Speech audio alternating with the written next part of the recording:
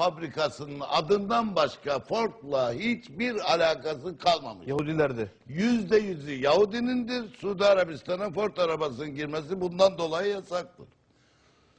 Beynel Milal arenada büyük bir şirketi sadece bir kitap yüzünden batırdılar ve satın aldılar.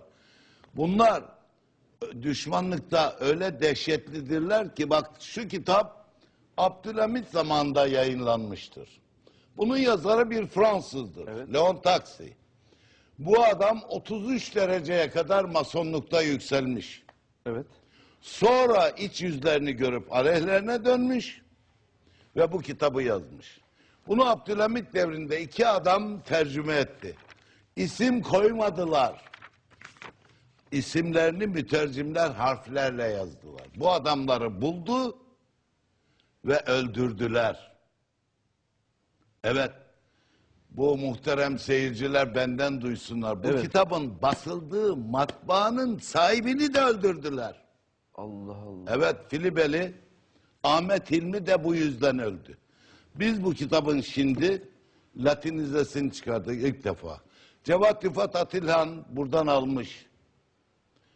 Masonluk aleyhine kim bir şey yazmışsa buradan almıştır. Bütün kaynakları budur. Bu ilk defa Latinize ediliyor. Adamı öldürdüler. Kitabın basıldığı matbaanın sahibini de öldürdüler. Yahudi şu demin arz ettiğim inanç sistemi olarak bir dünya devletidir. Görünmez bir dünya devletidir. Bunu kurmuştur. Bunun ispatı Ama haritada bir sürü devlet var. 200 hayır tane. onların bayrak onların güç Yahudinindir. Şu kitap Louis Marchelko. Bunun orijinal adını biliyor musun? Ben bunu 72 senesinde tercüme ettim.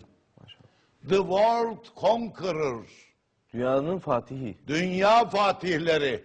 Ben fatih kelimesini Yahudi'ye yakıştıramadım. Yahudi diye sade tercüme ettim bunu. Ve bu kitap öyle korkunçtur ki Avrupa'da, Amerika'da gazetelere nasıl hakimdirler, sendikalara nasıl hakimdirler, bankalara nasıl hakimdirler, borsalara nasıl hakimdirler, akıl durur. Ve bunu okuyan adam ümitsizliğe kapılır diye ben bunun sonuna bu işin geleceğini söyledim. Vakit kalırsa burada Var da hocam. Vaktimiz var. Hiç endişe etmeyin. 72'de ey okuyucu bugün durum budur ama Yahudinin geleceği de şu olacaktır dedim.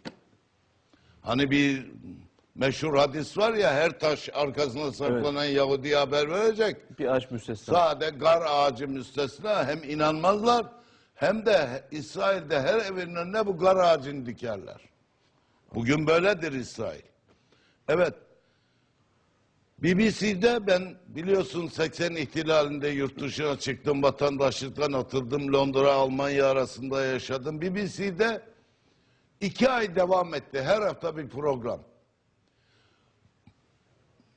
Meşhur masonları gösteriyor. Tamam. Ve bu masonlar masonluğa hizmetlerini anlatıyor. Sonra da o mason bir kuytu yerde, ormanda vesairede öldürülmüş, boğularak öldürülmüş gösteriliyor. Üzeyir Gari İsrail öldürdü. İspatı nedir biliyor musun? Çok büyük iddiada bulunuyorsunuz. Evet. İspatı nedir biliyor musun? İsrail'e yardım etmediği için diz kapaklarını kestiler. Ben bunu bir sohbette anlattım da orada bir doktor dedi ki ben bunun otopsisinde bulundum. Adamı sen hançerlemiş öldürmüşsün, bıçaklamışsın. Diz kapağıyla ne işin var cesette diz kapağını kesiyorsun? Bu intikam öldürüşüdür. O da gösteriyor BBC'de bu mason evvela tekris merasimini gösteriyor. Tekris. Mavi, kırmızı bir kurdele boğazına tutuyorlar. Sırrımızı söylersen seni bununla böyle boğarız diyor. Bunu bir manken üzerinde gösteriyor.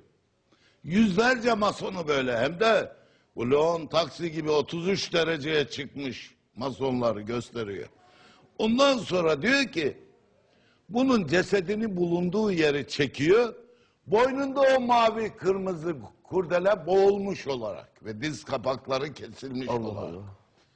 Böyle yüzlerce masonu masonlar öldürüyor. Sırrımızı ifşa ederken seni böyle boğarız diye ilk kabulde tekris merasimindeki hareketin aynı ile öldürülmüş. Bunu ben BBC'de seyrettim. Peki Siyonizmle Masonluğun ne ilgisi var? Aa, şimdi Çünkü- cihan hakimiyeti kuracak ya. Evet. Cihan hakimiyeti kurmak için nüfusu kafi değil. Çünkü Yahudiler hepsi şehirde yaşar. Goyimleri Mason yapabilir mi? Bak şimdi söyleyeceğim sana. Yapar kullanmak şartıyla. Hocam e, kızmayın ama çok kısa bir reklam arası vereceğiz. Şimdi şu sözü bitireyim. Lütfen bitirin. Kendi nüfusu kafi değil. Çünkü Evet. şehirde oturuyor. Şehirde oturmak ona bir avantaj sağlamıştır. Büyük ticaret ve büyük şehirde oturuyor. Sebeplerini anlatırım sonra. Kapital toplamıştır. Büyük şehirde büyük ticaret, büyük tahsil imkanı elde. Ama iki de zararı var. Büyük şehir adamı korkak yapar. Apartman çocukları hayatla haşir neşir, eşekten düşen, kiraz ağacından düşen, kurbağaya basan, yılana basan bir adam gibi olmaz. Evet. Apartman insanı korkak yapar. Yahudinin korkaklığı meşhurdur bütün dünyada. Karakteristik özelliğidir. Evet. Çünkü bu hayat tarzından doğmuştur. İkincisi nesil bereketsizliği. Her milletin nüfusunu köyle artırır. Şehirli adam hesabı iyileşmiştir. Yol masrafla gidilir. Su masrafla akar. Elektrik masrafla. Her şey masraftır. Hesabidir. Bu çocuğu nasıl yetiştireceğim düşüncesiyle her ülkenin şehirli nüfusu yerinde sayar. Bir nesil köyden gelen çocuk yapar onu. Yahudi hepsi şehirli olmaktan dolayı vasfı mümeyyiz itibariyle evvela korkaktır. Sonra da asırlardan beri nüfusu hiç artmamıştır. 20 milyon Yahudi vardır dünyada. Taş, taş Artmaz. E dünya hakimiyeti kuracak. O zaman milletlerin zayıf karakterli adamlarını bir yan teşkilat hani belediyeler kuruyor vesaire yapamadığı işi yaptırmak için aynen onun gibi